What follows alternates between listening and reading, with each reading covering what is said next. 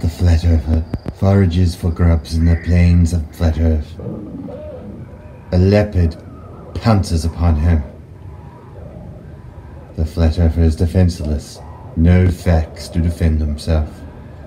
He will not survive this encounter. A small tribe of Flat Earthers drink from the local watering hole. Suddenly, a rival group of Flat Earthers from a different faction approach. The group spots them, immediately rush into a frenzy. Fight or flight takes over this battle. They speak in their native tongue, which sounds like screeches to us, but is really a complex dialogue. They are asking to show me gas pressure without a container.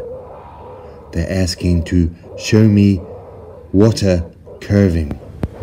Not realizing the opposite tribe are also flat earthers. Now they're asking for the smartest flat earther to approach from each tribe. The smartest of each tribe approaches the watering hole. He steps into the water, which you notice does not curve. He flails his arms around. It is enough to scare away the rival flat earther affection. Their watering hole is safe for another day.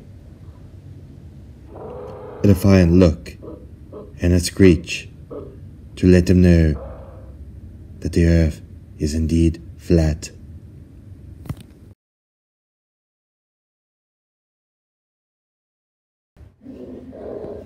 In a act to defy and to taunt the flat earthers, the Globers have left a little treat for them.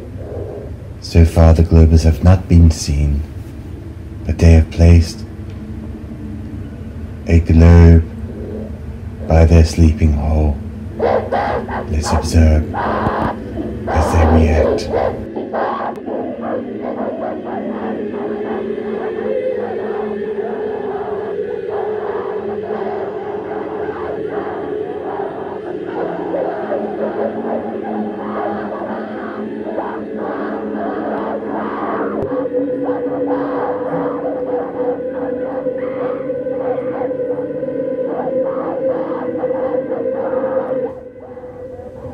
Inches his way towards it.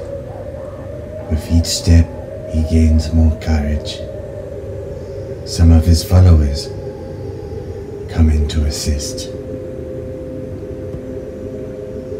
Eventually, their numbers are big enough that they can closely approach and interact with the subject.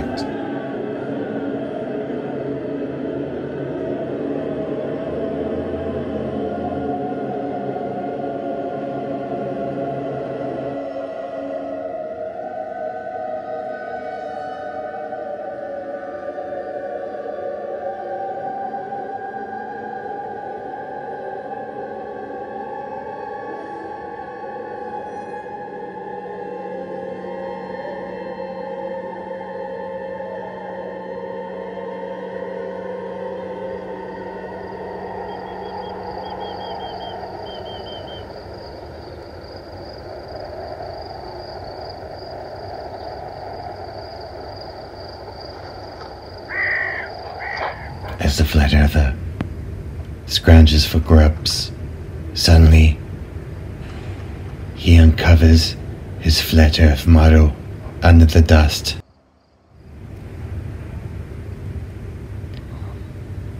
He begins to examine it, stare at it. He begins to mock it. He desires so to destroy it. But how, he thinks and suddenly he has a thought.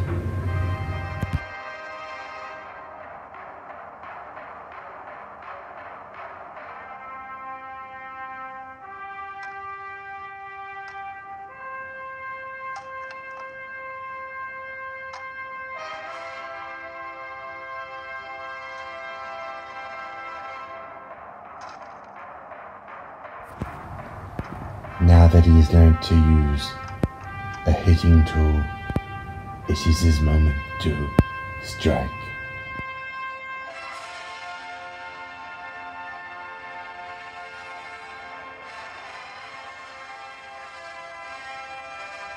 Now he has the knowledge to advance himself and his tribe to the globe age.